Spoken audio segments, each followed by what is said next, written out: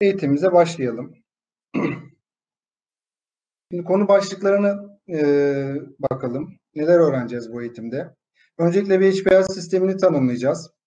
Çalışma prensiplerinden bahsedeceğim. Kullanım alanlarını gö an göreceğiz. Hangi e, ülkemizde yaygın olarak kullanılan markalar üzerinden sistemin genel akış şemasını inceleyeceğiz ve sistemin bileşenlerini detaylı olarak öğrendikten sonra soru cevap kısmına geçeceğiz. Biz HPL sistemini kısaca tanımlayacak olursak aslında e, İngilizce High Performance ya da High Pressure Liquid Chromatography terim, e, kelimelerinin baş harflerinden türetilmiş bir terim. E, biz bazen e, High Performance Liquid Chromatography diyoruz. Bazen de High Pressure e, kelimesini kullanıyoruz. yani yüksek performanslı sıvı kromatografisi ya da yüksek basınçlı sıvı kromatografisi olarak bu sistemleri adlandırıyoruz. Neden iki tane farklı adlandırma var dersek arkadaşlar, şu şekilde inceleye açıklayabiliriz. Ee, aslında bu sistemler e, geliştirildiği ilk yıllarda kromatografi sistemlerinin e, gelişmeye başladığı o yıllarda e, sadece sistemin e, temel bileşenlerin etki mekanizmasının sadece basınç olduğu düşünülüyordu. Ve o sistemlere e, sadece yüksek basınçlı sıvı kromatografi sistemleri diyorlardı. Yani mobil faz kolondan geçerken bir geri basınç oluşturuyor ve bu basınçtan dolayı da e, sisteme yüksek basınçlı sıvı kromatografisi deniliyordu. Ama ilerleyen yıllarda günümüze yaklaştıkça bu sistemin bileşenlerinin aslında sadece bir basınç olmadığı, basınçla beraber e, daha farklı parametrelerin de aslında kromatografik ayrımda etkili olduğu anlaşıldı. Ve bunun için bu sistemlere yüksek basınçlı demekten ziyade tamamen bu bileşimlerin hepsini temsil eden yüksek performanslı sıvı kromatografi sistemleri de, de, denmesi tercih edildi. Aslında buradaki performans kelimesi yüksek rezolüsyon yani e, sisteminin yüksek ayrım gücünü ifade ediyor. Bu nedenle de biz artık bu sistemlere yüksek performanslı sıvı kromatografi, sistem, kromatografi sistemleri diyoruz. Kısaca sistemi tanımlayacak olursak az önce de bahsettik. Bir kromatografi kolonumuz var. Bir de hareketli fazımız var bu sistemde. Pompalar vasıtasıyla hareketli faz kromatografi kolonuna ilerli yönlendirilir ve kromatografi kolonunda basınç sayesinde bileş, e, bir basınç oluşur. Kromatografik ayrım yöntemleriyle karışımlardaki bileşenler ayrılır, dedekte edilir ve bu sayede nitel ve nicel analizler gerçekleştirilebilir. Biz bu sistemlere HPL sistemleri diyoruz. Bir diğer ifadeyle de karışımdaki her bir bileşenin arkadaşlar şöyle söyleyelim. Şurada bir kalemi de açalım. Ee, karışımdaki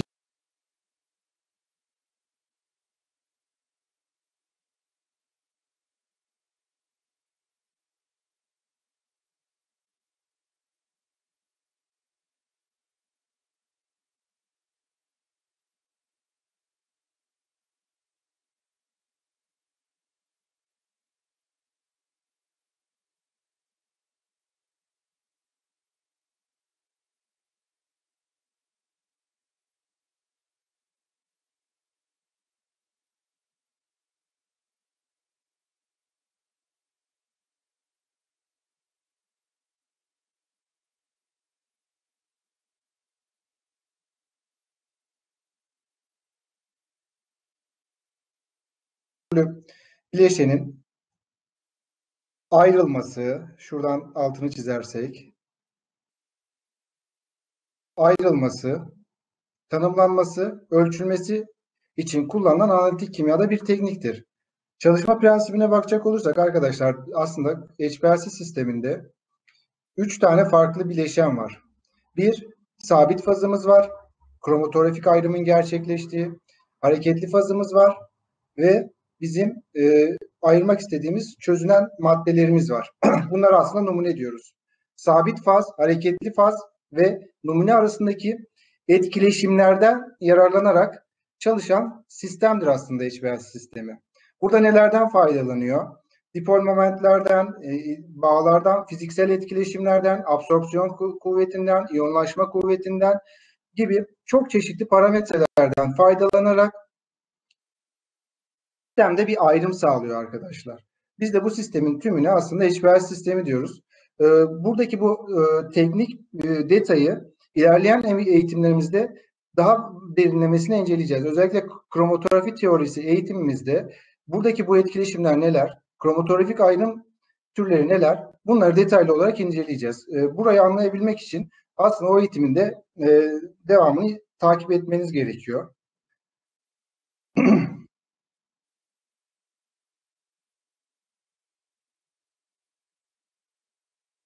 e, akabinde e, bir sonraki slayta bakacak olursak e, sıvı kromatografi sisteminin kullanım alanlarını görüyoruz. Günümüzde aslında bunu şöyle özetleyebiliriz. Bazen şu sorular geliyor. Kromatografi sistemi nerede kullanılıyor? Bu olaya şöyle yaklaşalım. Analitik kimya laboratuvarlarının aslında birçoğunda kromatografi sistemlerini kullanıyoruz. Kimyanın girdiği birçok e, sektörde kromatografi cihazları hali hazırda kullanılıyor. Bunların başında tabii ki en yaygın olan ilaç sektörü geliyor. Burada antibiyotikler, e, analiz ediliyor. Normal beşeri ilaçlar, günümüzde yaygınlaşan biyoteknolojik ilaçların analizlerinin birçoğu HPLC sistemlerinde gerçekleştiriliyor. Biyokimyasal analizler, gıda sektöründeki tatlandırıcılar, antioksidanlar, alfa toksinler, katkı maddeleri, ham maddeler, endüstriyel kimyasallar, kirleticiler, klinik tıpta, adli tıpta, uyuşturucu analizlerinde birçok alanda aslında kromatografi sistemlerini görüyoruz. Neler var burada? Alt başlıkları incelersek amino asit analizleri, protein analizleri, karbonhidratlar, pestisitler, safra asitleri gibi şekillendirebiliriz. Aslında kullanım alanı neredeyse birçok laboratuvara yayılmış bir cihaz. Teknolojisi de zaten uzun yıllara dayanıyor. HPL sistemini diğer klasik tekniklerden ne ayırıyor? Mesela HPL sistemi TLC ile karşılaştırmış olsak neler ayırıyor? Bir defa HPL sisteminde e, çok küçük boyutlarda kromatografik kolonları kullanılıyor. Diğer sistemlerden en büyük özelliği bu. Bu kromatografik kolonlar sayesinde biz e, yüksek bir iç basınç e, elde ediyoruz. Kontrollü akış hızları elde ediyoruz. Çok küçük örnek hacimlerinde çok yüksek duyarlılıklarla çalışabiliyoruz. Sürekli akış dedektörleriyle eser miktarda analizleri gerçekleştirebiliyoruz. Bunlara impürite safsızlık analizleri dahil. Miktar tayin analizleri yapabiliyoruz yüksek e, tekrarlanabilirlikte ve yüksek hassasiyette sonuçları elde edebiliyoruz. Bu nedenle birçok analitik teknikten aslında ayrılıyor HPLC. Aynı zamanda çok pratik ve uygulaması kolay bir yöntem olduğu için HPLC sistemi e, aslında en yaygın tercih edilen sistemlerin de başında geliyor. E, şimdi HPLC sisteminin temel bileşenlerine bakalım arkadaşlar. Temel bileşenler nelerdir? Öncelikle solvent rezervuar sistemi geliyor. Akabinde oto örnekleyicimiz var. Daha sonra pompa sistemleri, kolon ve kolon fırını, ardından dedektör, veri toplama ve işleme bilgisayarı ve dedektörden çıkan atıkların toplandığı bir atık alanında bu sistemin bir parçası. Biz bu sistem sistemin tamamına HPLC sistemi olarak adlandırıyoruz. Ee, şimdi HPLC sistemini incelerken şuna e, mevcut markalar üzerinden gidelim dedik. Bakalım ülkemizde en çok tercih edilen dört markayı bir inceleyelim. HBLC bileşenleri ne şekilde dağılmış? İlk markamız marka 1'e baktığımızda solvent rezervuar ve degazır sistemi en üstünde konumlandırılmış sistemin hemen altında pompalar ve sistem kontrol ekranını görüyoruz. Onun altında oto örnekleyici, en alt kısımda kolon fırını ve kolon fırınının altında da dedektörü görüyoruz. Sistemin bütününe baktığımızda akış solvent rezervuarından dedektöre doğru aşağı yönlü bir akış tasarlanmış marka 1'de. Peki bu marka 2'de ne şekilde olmuş ona bakalım. Solvent rezervuarı yine en üst alanda yer alıyor. Onun hemen altında pompa ve gradiyant sistemler yer alıyor. Hemen onun yanında sistem kontrol ekranı yer alıyor. Sistem kontrol ekranının altına orta sağa dedektör yerleştirilmiş. Sol en altta oto örnekleyicimiz, numune alanlarının bulunduğu kısım ve sağ altta da kolon fırını yer alıyor arkadaşlar. Buradaki yapıya baktığımızda da üstten şöyle dönen yukarıya doğru giden bir yapı görüyoruz. Solvent rezervuarı, oto örnekleyici, kolon fırını ve dedektöre doğru giden akışı da ok yönüyle görmeniz mümkün. Marka 3'e bakalım. Marka 3'te ne, ne şekilde bu yapılmış? Solvent rezervuar alanı yine en üstte yer alıyor. Hemen yanına dedektör konumlandırılmış. Onun altına sistem kontrol ekranı. Hemen altına oto örnekleyici. Oto örnekleyicinin yanında bir enjektör ünitesi var bu markada. Ekstra olarak buna bir kapak vasıtasıyla ulaşabiliyorsunuz. Hemen yanında kolon fırını yine dik bir şekilde konumlandırılmış. ve pompa ise en alt sol köşeye konumlandırılmış. Buradaki iş akışına bakacak olursak yine yukarıdan aşağı yönlü bir akış mevcut ama burada dedektör en altta değil en üstte e, konumlandırılmış. Marka 4'e bakalım. Marka 4 de ülkemizde en yaygın kullanılan markalardan birisi. Şimdi marka 4'te solvent rezervuar olanı yine en altta yer alıyor. Hemen altında dedektörü görüyoruz. Dedektörün hemen altına oto örnekleyici ünitesi yerleştirilmiş. Onun hemen altına pompa yani sistemin en altında pompalar yer alıyor. Ve yine kolon fırını dik bir şekilde yerleştirilmiş. Buradaki akışa bakarsak yine akış aslında marka 3'e ve marka 2'ye daha yakın bir akış görüyoruz burada. Yine solvent rezervuarından pompa, oto örnekleyici akabinde kolon fırınından çıktıktan sonra dedektöre doğru bir akış söz konusu. ee, şimdi şöyle geçelim. Bu bileşenleri artık yavaş yavaş inceleyelim. İlk, ilk alanımız solvent rezervuar. Ancak buraya geçmeden önce arkası bir sonra önceki slayta dönüp burada önemli bir bilgi vermek istiyorum. Aslında bu bilgileri biz e, en son eğitimimizdeki HPLC sorun giderme eğitiminde e, detaylı olarak inceleyeceğiz. Ama burada e, hazır görsel önümüzdeyken bunu anlatmak istiyorum.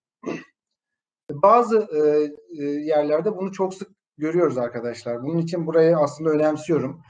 Solvent rezervuar alanları markaların dördüne de bakarsanız hep en üst alanda konumlandırılmış.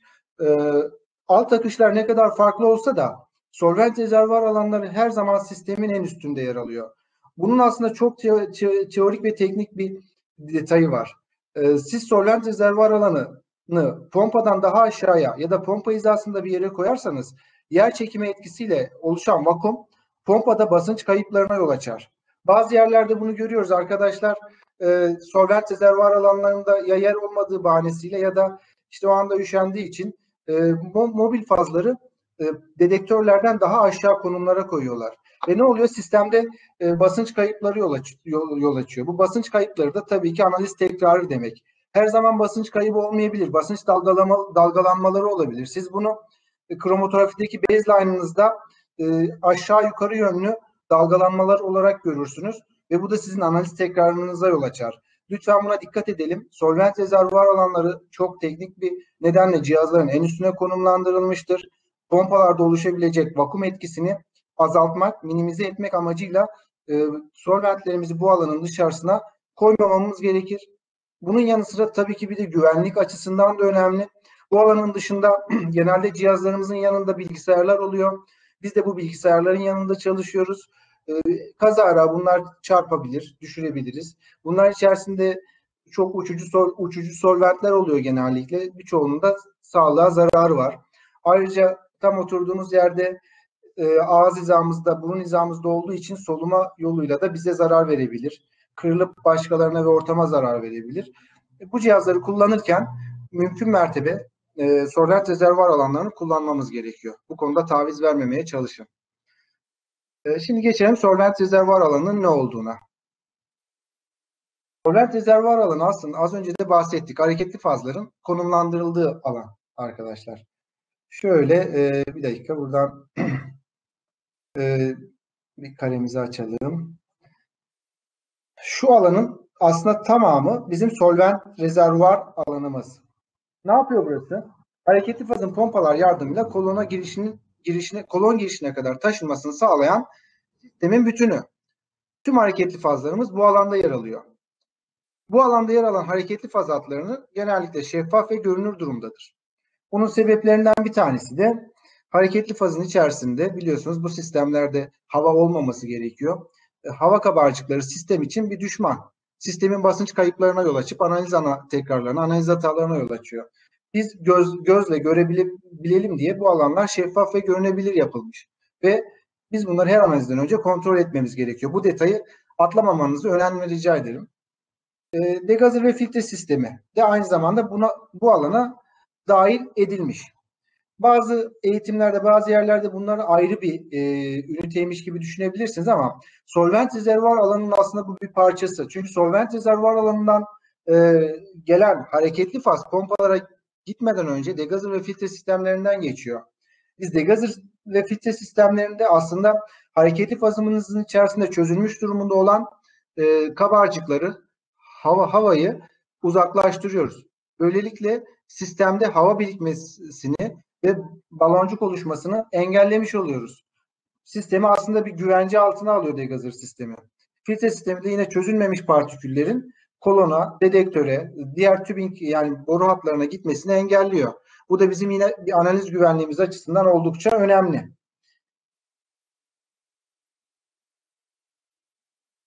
Şöyle yakından bakacak olursak solvent rezervuar alanı burada bir görsel koyduk. Bu da bir cihazdan alma bir görsel. Görüyorsunuz hareketli faz şişelerimiz var ve solvent rezervuar alanları hareketli faz şişelerinin içinde yer alıyor. Az önce bahsettiğimiz şeyler işte şeffaf görünür hatlar var burada ve hareketli fazlar pompa yardımıyla kolona kadar taşınıyor. E, solvent rezervuar alanının parçalarını burada aslında e, detaylı olarak incelemek istiyoruz. Burada neler var? Bir rezervuar hareket, hareketli faz filtresi var. Hareketli faz boruları var. Hareketli faz şişesi var. Şişe ile uyumlu güvenlik kapağı var. Solvent rezervuar alanına dahil olan başlıca e, bileşenler bunlar. Bakalım rezervuar hareketli faz filtreleri neler?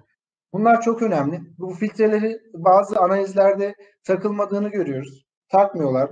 Çeşitli sebepleri var. Kimine göre haklı sebepler, kimine göre de haksız sebepler ama bu sistemler aslında e, sistemin e, koruması için bir ön şartel görevi görüyor. Bu, muhakkak bunlar takılmalı. Şöyle şurada bir gösterelim. E, bir önceki slayta bakacak olursak. Bakın mobil faz şişesinin içerisine bizim tübing dediğimiz bu e, solvent rezervuar e, boruları e, girmiş. Bunlar solüsyon içerisinde yer alıyor. Hemen şu uç kısımda yer alan filtrelere biz hareketli faz filtreleri diyoruz. Onları da şurada büyütülmüş bir şekilde görüyorsunuz. E, çeşitli kimyasal yapıda olan filtreler var. Cam filtreler, paslanmaz çelikten üretilmiş filtreler, PTF polietilenden üretilmiş filtreler var. Bizim çalışmamızın niteliğine göre bunlar şekillendirilebilir. Birçok e, cihazda bunlar zaten e, standart olarak mobil faz hatlarına takılı olarak geliyor. Bunlar e, tıkanabiliyor. Tıkandığı zaman e, %70 e, metanol su karışımında e, belli bir süre degaze et, ultrasonik banyoda degaze ettikten sonra açılabiliyor. Bazıları açılamayabiliyor. Camları açamayabilirsiniz. PTF'yi de belki açamayabilirsiniz ama paslanmaz çelikler zaman zaman e, bu tarz bir solüsyonda birazcık daha sıcak solüsyonlarda eğer tuz birikmesi olduysa açılıyor. Ama katı partikül birikmesi varsa bunları açmak çok mümkün değil. Bunu değiştirmenizi tavsiye ederiz. Zaten yıllık bakım anlaşması olan şirketlerde bu paslanmaz çelik filtreler ya da PTF filtreler bakım paketiyle beraber değiştiriliyor. Analizinizde aslında basınç e, sürekli oluşan bir kabar e, şöyle söyleyeyim hareketli faz hatlarınızda az önce bahsettiğimiz o şişenin içerisine giren hareketli faz hatlarınızda sürekli bir kabarcık sürekli bir balon görüyorsanız ve filtre takılıysa ilk şüphelenmeniz gereken aslında bu filtreler arkadaşlar. Bu filtrelerde tıkanıklık olduğu zaman sisteminizde e, kabarcıklar oluşmaya başlıyor. İlk ondan şüphelenip onu çıkartıp yenisini takarak sisteminizi bir çek etmenizde fayda var. Bunları yine az önce dediğim gibi HBS sorun giderme eğitimimizde detaylı olarak inceleyeceğiz. Burada derinlemesine göreceğiz. Şimdi hareketli faz boruları da az önce bahsettiğimiz o tubing dediğimiz borularda bu borular. Burada yaklaşık işte 5-6 metrelik bir boru var. Bunlar önemli. Cihazdan cihaza değişir. Az önce işlemiş olduğumuz 4 tane yaygın marka markanın e, birçoğunda e, bazılarında universaldır. Bazı adlar değişebilir. Bunların iç çapı, et kalınlığı çok önemli. Bunlar özellikle e, değiştirilecekse yetkili servis tarafından değiştirilmesini tavsiye ediyoruz. Uzunlukları oldukça önemli. Bunlar rastgele kesilmemeli. Bunlar hep sistem hacmini etkileyen parametreler olduğu için bu konuda müdahale edilecekse yetkili kişilerle müdahaleler gerçekleştirilmeli. Hareketli faz şişelerinde görüyoruz. En yaygın kullanılan hareketli faz şişeleri borosilikat camlardan üretilmiş şişelerdir. Bunlar yüksek ısıya dayanıklı şişelerdir.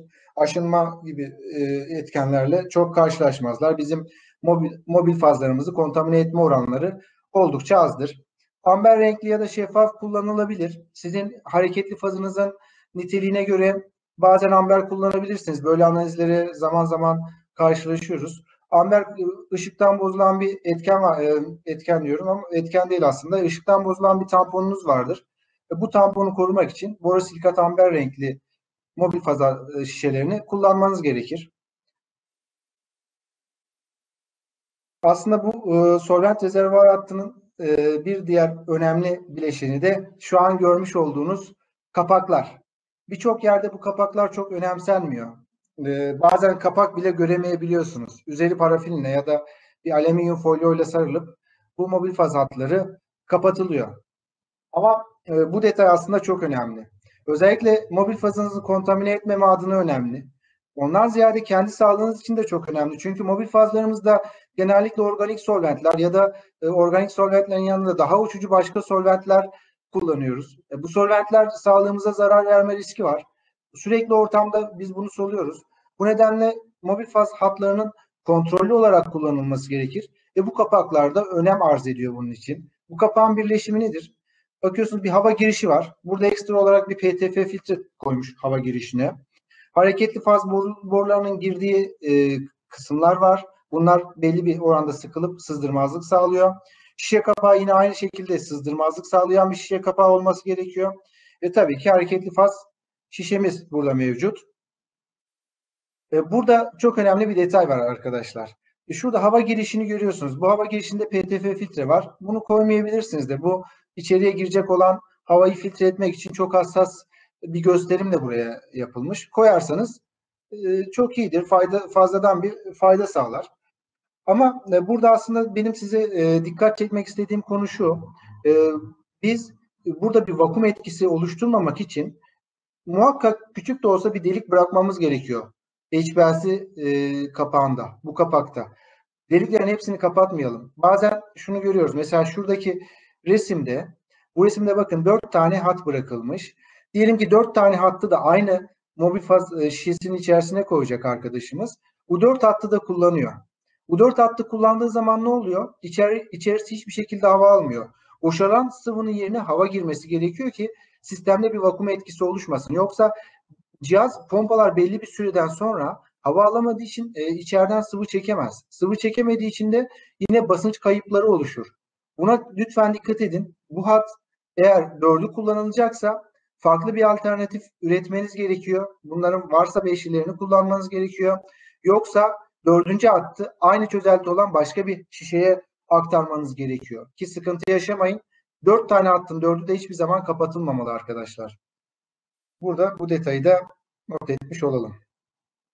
Degazır ve filtre sistemi yine solvent rezervuarına dahil ettiğimiz bir sistem. Az önce size söylediğim detayı tekrarlıyorum. Degazır sistemi bu sistemler için oldukça önemli. Ee, tabii HPLC sistemlerinde degazır sistemleri var ama bu Binary Solvent Manager kullanılan az önce bahsedeceğim pompa sistemi değişik sistemlerinde bir degazır sistemine ihtiyaç yok. Bu sistemlerde e, genellikle az önce işlediğimiz 4 markanın 4'ünün HPLC versiyonlarında da degazır sistemlerini ve filtre sistemlerini görüyoruz. Degazır ne yapıyordu? E, şu alanda mesela bu markayı buraya biz koyduk. Şu alandaki kısım bizim degazır ünitemiz. Bakın yukarıdan gelen mobil faz hatları degazıra giriyor. Oradan de, degaze oluyor. Yani içerisindeki çözülmüş gazlar uzaklaştırılıyor ve akabinde pompalara gidiyor. Pompalardan sonra kolona ulaştırılıyor. Sistemin çalışma prensibi tamamıyla bu. Detayına bakalım. Bir degazır ünitesi nedir? Az önce size işaretlemiş olduğum alanın aslında arka tarafındaki kısım burasıdır arkadaşlar. Bakın şu kısım. Bizim degazır dediğimiz hatlar da e, şunlar. Şurası bizim degaz ünitelerimiz. Bir, şurada bir tane var. 2, 3 ve 4. 4 tane hattımız da bu degaz ünitesinde konumlanmış. Eğer 4 tane solvent rezervuar alanımızda 4 tane mobil faz hattımız varsa her hat için bir tane degazır ünitemiz var. Degazır dediğimiz kısım da aslında şuradaki kısmı, kısmı çizilmiş halde şu arkadaşlar. Her birinin bir tanesi. Mobil faz bir taraftan giriyor ve diğer taraftan degaze olmuş şekilde çıkıyor. Detaylı olarak inceleyelim. O degaz ünitesinin içerisinde dönen olay aslında ne? Neler yapılıyor? Şimdi bizim hareketli fazımız e, o degaz ünitesine bir yönden giriyor. Ve bakın şurada e, şöyle çizelim. bizim şu hattımız, e, şu, şu hattımız, şurası aslında geçirgen olan hortum dediğimiz tübing hattımız. Hareketli fazımız bu hat içerisinde ilerliyor. Bu hat içerisinde ilerliyor. Bir de dışında bir çeper daha görüyorsunuz. Bakın bu çeperi de şöyle değişik başka bir renkle çizelim. Şurada bir çeperimiz daha var. Bu çeperde de bir tane vakum hattımız var. Vakum pompası sürekli bu çeperin içerisini yani tübing ile şu iki tane renk arasını, arasını sürekli vakumluyor. Vakumladığı için de bizim geçirgen olan tübingimizin içerisinden sıvı geçemiyor ancak çözülmüş gazlar geçiyor. Başlangıçta yoğun olan gaz kabarcıkları en sona ulaştığında minimize edilmiş oluyor. Tamamen bitiyor mu? Tamamen bitmiyor. Tabii ki bu bizim ideal istediğimiz buradaki gaz çözeltisinin e, çözülmüş gazların çözeltiden olabildiğince uzaklaşması. Ama bunu yapmak pek mümkün olmuyor. Olabildiğince minimize ediyoruz ve bu şekilde pompalara ulaşıyor. Aslında degazır dediğimiz ünite budur. Bir parmak uz uzunluğundadır ya. Ortalama kalınlığında o kadardır. İçerisinde spiral şeklinde bu tübingimiz sarılmıştır ve mobil fazımız bunun içerisinden geçer. Şimdi bu sistemin kalbi dediğimiz, ben, ben kalbi olarak adlandırıyorum, pompalar. Ee, neden kalbi diyorum? Çünkü sistemin gerçekten de en önemli detayıdır. Pompalarda herhangi bir arıza olursa bunu hemen anlarsınız ve bunu aslında e, gidermek oldukça da zordur. Eğer analiz esnasında pompada bir arızayla karşılaşıyorsanız analizinizi durdurmanız gerekir ve tekrar etmeniz gerekir. Bu iş çoğu zaman bu şekilde sonuçlanır. Pompa dediğimiz kısım nedir arkadaşlar? Solvent rezervuar, solvent rezervuar alanına konulan mobil fazları sabit akış ve yüksek basınçta kolona gönderen sistem. Burada aslında altını çizmek istediği, çizmemiz gereken bir e, detay var. Sabit akışta bakın işte sabit akışta dediğimiz kısım. Bu sabit akışta olması e, detayı çok önemli. Çünkü e, HPL sistemlerinde biz e, diyelim ki biz dakikada 1 mililitrelik akışın kolondan geçmesini istiyoruz. Sistem bize bu sabit akışı yani dakikada 1 mililitrelik akışı kesinlikle sağlamak zorunda. Eğer bunu sağlamıyorsa zaten biz analiz tekrarlanabilirliğini hiçbir zaman elde edemeyiz. Ee, bir analizde elde ettiğimiz sonuçlar diğer bir analizde elde edilemez. Onun için HPL sistemlerinin aslında en temel özelliğinden biri sabit akışta yüksek basınçta kromatografi kolonuna sürekli bir akış göndermesi. Akış hiçbir zaman kesilmez. 1 mililitre bölü dakikaysa sürekli 1 mililitre bölü dakika akış kromatografi kolonumuzdan geçerek dedektöre ulaşmalı. Sistem bunu bize sağlamalı. Biz e, 600 bara kadar olan sistemler sistemleri de HPLC sistemleri olarak adlandırıyoruz. Bu bizim 600 bar kavramı nereden çıkıyor? Pompa ile kolon arasında oluşan basınçtır arkadaşlar 600 bar. E, kolon kromatografik kolondan sıvı geçerken bir geri basınç oluşturuyor. Back pressure dedikleri geri basıncın aslında e, ifadesidir 600 bar. HPL sistemleri 400 bar ile 600 bar arası basınca dayanabilecek şekilde piyasada pazarlanır. Az önce incelediğimiz markalar bazıları 400 bara kadar bazıları 600 bara kadar olan sistemlerini HPLC sistemleri olarak piyasada sunuyorlar. Az önce bahsettiğimiz detayda e, şudur aslında. Eğer seçilen herhangi bir akışta yüksek akış doğruluğu ve hassasiyetiyle çalışmalı. Evet, yüksek akış doğruluğu ve yüksek hassasiyetle çalışmalı. Bu çok önemli. Şöyle bir bakalım. Pompada bizim nelerimiz var arkadaşlar? Bir check valfimiz var. Bunu burada görsel olarak görmeniz için e, e ilave ettim özellikle. İlerleyen eğitimlerimizde daha detaylı inceleyeceğiz. Bunu yine HPLC sorun giderme eğitimlerinde böyle bir bölümümüz var. Check valve arızaları nelerdir? Check valve arızaları nasıl müdahale edilir ve nasıl anlaşılır? Bunları biz detaylı olarak inceleyeceğiz. Bir check valve dediğimiz kısma bir bakalım. Nedir? E, şimdi şu gördüğümüz kısım e, şurası. Özür dilerim. Şu kısım bizim pompa pompamız pompamızın ön kısmı. Görünen kısım pompamızın ön kısmı. Burada neler var? Bir tane hareketli milimiz var. E, bu buradaki pistonu çekiyor arkadaşlar. Her dönmede hem çekiyor hem ileri itiyor. Daha önce piston gördüyseniz bunu biraz hayal edebilirsiniz. Az önce bahsettiğimiz check valflerde şu gördüğünüz e, yuvarlaklar check valfler oluyor. Bir taraf mobil fazın pompaya girdiği kısım, bir tarafta mobil fazın pompadan çıktığı kısım.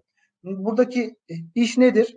Piston çekildiğinde check valfler içeriye doğru hareket ediyor. Bu içerideki sıvının dışarıya çıkmasını engelliyor. İleriye itildiğinde de sıvı dışarıya çıkıyor.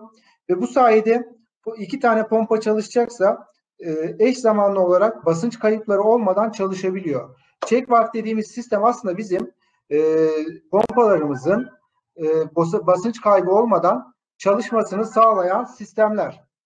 Pompalar e, basınç kaybı olmadan çalışabilmesi için check valvelerimizin de sağlıklı bir şekilde çalışması gerekiyor. E, şurada detaylı olarak bir e, şeye bakalım. Yani pompa e, pompalarda ne şekilde pompalar vardır? Ne şekilde pompalar kullanırız? Bunları detaylı olarak ince, inceleyelim. HPL sisteminde aslında iki farklı pompa çalışma tekniği vardır. Bunlardan bir tanesi izokritik elüsyon dediğimiz yani izokritik e, ayrım sağlayan sistemler. İzokritik sistemlerde biz e, mobil faz oranlarımızı değiştiremeyiz. Eğer %70 metanol su karışımıyla çalışıyorsak daima %70 metanol su karışımıyla çalışmalıyız.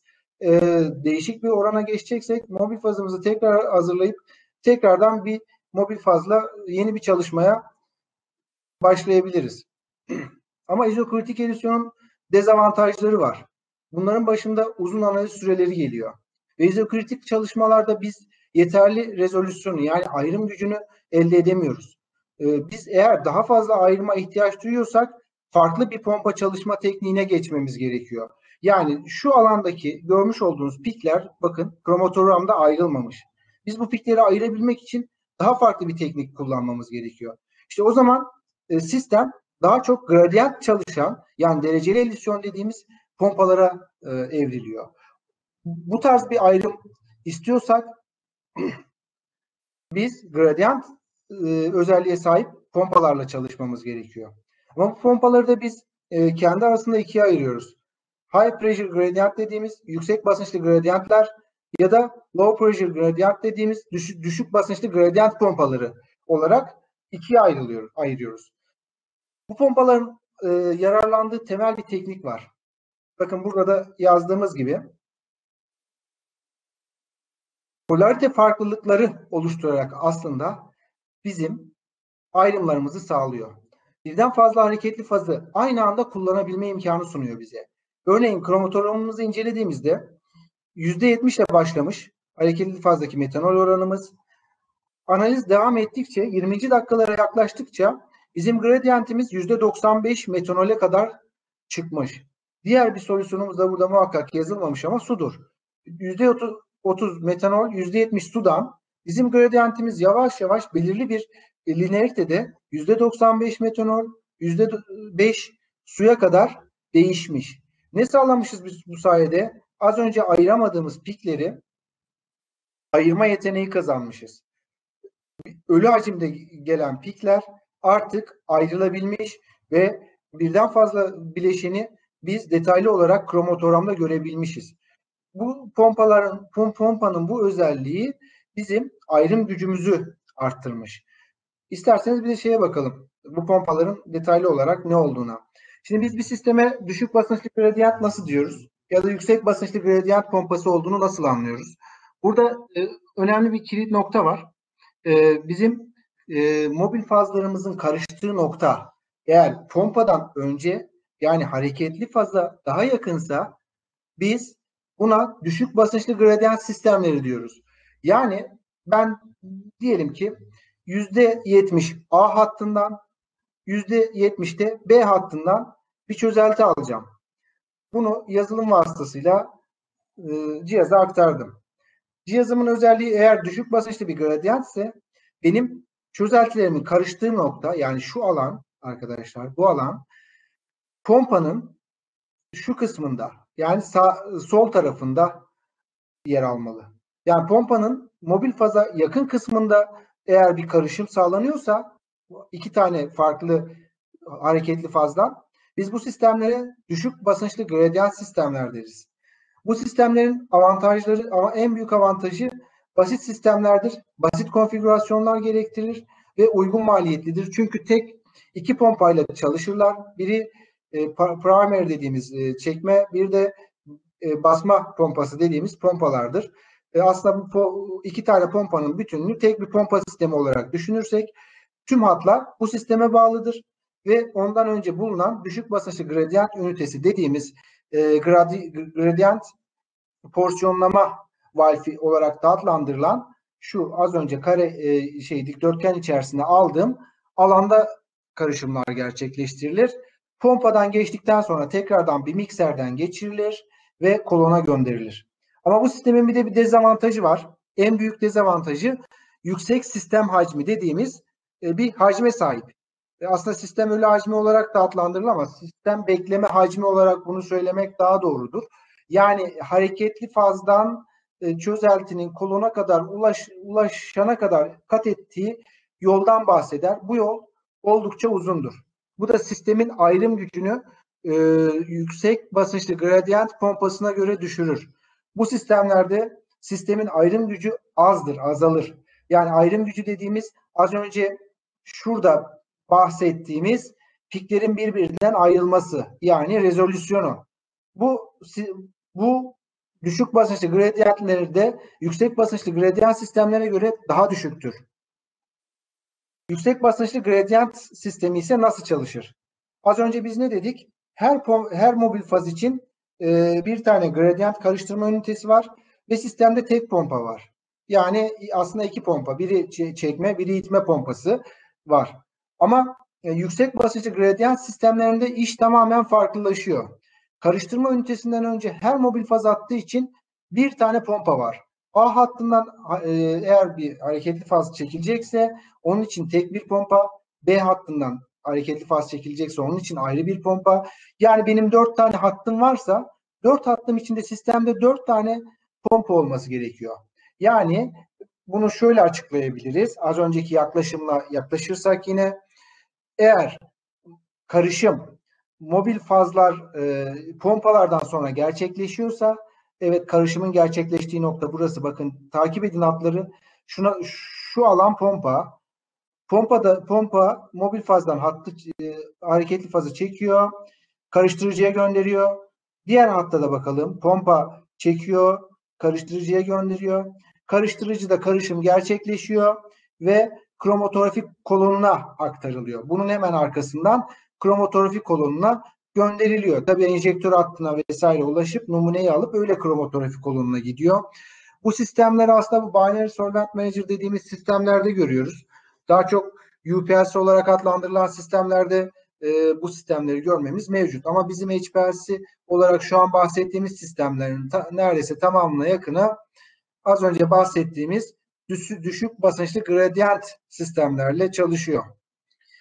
Yüksek basınçlı gradient sistemlerin avantajları var.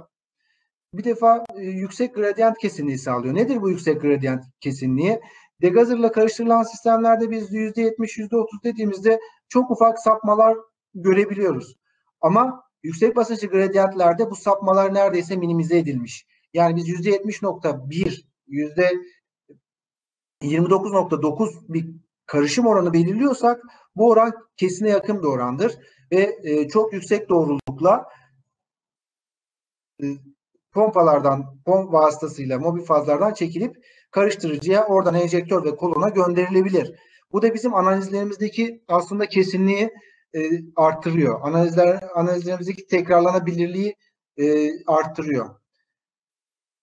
Ve en büyük avantajlarından bir tanesi de düşük sistem hacmi. Az önce dediğimiz mobil fazla kolon arasına arasındaki e, bu tübing hat uzunluğu dediğimiz alan hat hat uzunluğu düşük sistem hacmi olarak tanımlanıyor. Düşük basınçlı gradiyentlere göre çok daha düşük sistem hacmine sahipler. Sistem hacmi düştü, düştükçe de bizim ayrım gücümüz, rezolüsyonumuz artıyor. Bunun için yüksek hassasiyette sistemlerdir bunlar. Özellikle günümüzde e, HPLC sistem, UPS sistemlerinde LCM, SMS sistemleri, işte TOF sistemleri e, bu mantıkla çalışır. Ama bu sistemin birkaç tane dezavantajı var. En büyük dezavantajı biz dört tane e, hatla çalışmak istiyorsak e, iki tane de ayrı pompa almamız gerekiyor. Genellikle iki pompalı geliyor bu sistemler. A hattı ve B hattı olarak çalışıyoruz. Diyelim ki bizim e, hareketli fazımızda üç tane bileşen var. Bir üçüncü pompaya da ihtiyaç duyuyoruz. Ve o zaman bir üçüncü pompa satın alması yapmamız gerekiyor. Çok karmaşık sistemler, karmaşık sistem gereksinimleri var ve yüksek maliyetli. Pompa sayısı e, diğer sisteme göre arttığı için maliyetler de o oranda artıyor. E, aynı zamanda sistem gereksinimleri de fazla. Daha hassaslar. Bakım maliyetleri çok yüksek. Bakımda e, normal bir HVAC, düşük basınçlı HVAC sistemine bakım yaparken tek pompanın bakımını yapıyorsunuz. Ama bu sistemlerde 3 pompanın bakımını da ya da 4 pompanın artık kaç pompa varsa sisteminizde o kadar pompanın bakımını yapıyorsunuz. E, tabii bu kadar hassas olunca sistemler kullanması da biraz daha zorlaşıyor. Kullanan arkadaşların daha hassas davranması gerekiyor. Hareketli fazlarını daha dikkatli hazırlamaları gerekiyor. Sistemin başlangıç temizliğini ve bitirirken yaptıkları temizlikleri çok çok daha dikkatli yapmaları gerekiyor. Bunları da yine HPLC e, sorun giderme tekniklerinde detaylı olarak inceleyeceğiz. Bunlar nasıl yapılmalı, nelere dikkat etmeliyiz, ne yaparsak nasıl sonuç alırız, ne yapmazsak nasıl sonuç alırız. Bunları da irdeleyeceğiz. Şimdi geçelim oto örnekleyici kısma. Oto örnekleyici aslında şurası. Ee, hemen çizelim orayı da. Enjektör hattımızın bulunduğu kısım oto örnekleyici kısmı. Evet. Bu alan oto örnekleyici kısmıdır. Burada bizim tray dediğimiz HPLC yerlerinin konulduğu alan enjektör hattımız, loop'umuz ve e, valflerimiz vardır. Bu sistem ne yapar? Pompadan aldığı e, hareketli faz e, enjektörden geçerek, valflerden, looplardan geçerek kesintisiz bir şekilde kolon üzerinde kolona ulaşır.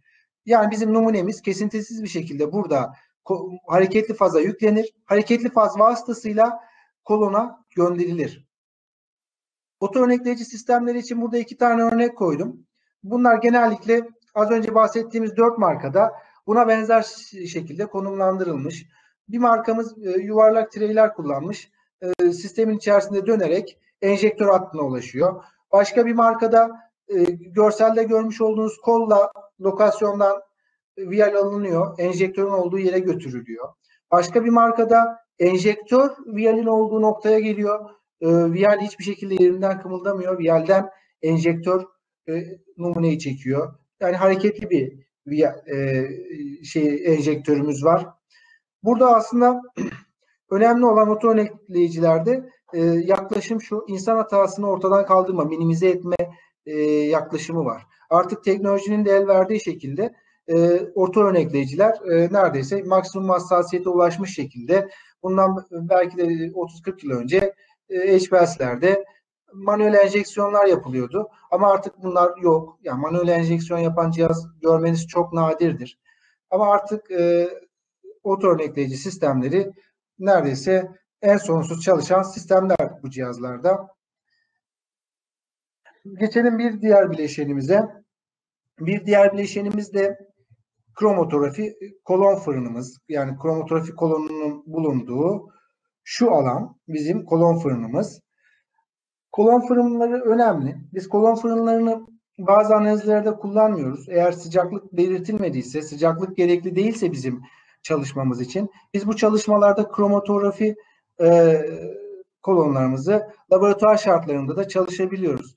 Ama şunu da unutmayın arkadaşlar. Laboratuvar şartları her zaman işte 20 derece ya da 24 derecede kalmıyor.